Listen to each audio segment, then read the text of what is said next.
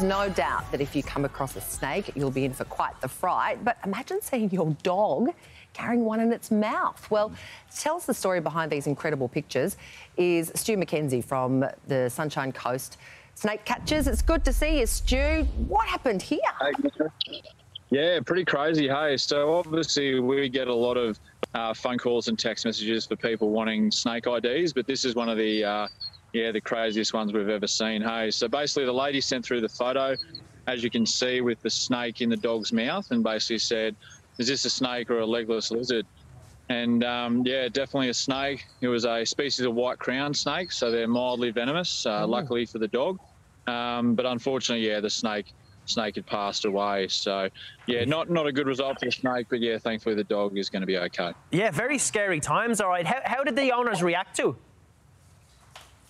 Yeah, I think like I don't know, they seem pretty calm to be honest, like holding the dog. And usually with, with this sort of situation, we just say steer clear of the dog. You know, if it's already got it in its mouth, you guys don't need to go in and get bitten as well. Yeah. Um, but yeah, they just sort of sent in photos, basically holding the dog, as you can see, with the snake in its mouth still. So yeah, pretty crazy. Yeah. Does this happen often? Uh, dogs are often trapping snakes.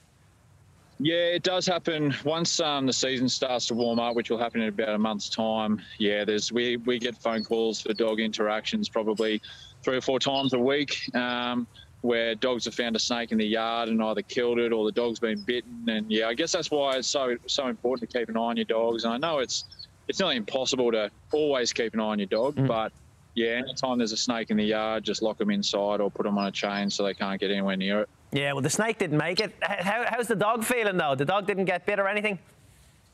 No, it's a mildly venomous snake species, so I don't think the dog had any real reaction. They took it down to the vet just for a checkup, but yeah, from from all accounts and what I've heard, the dog is fine. So Super stuff. Wow, Right what a tale.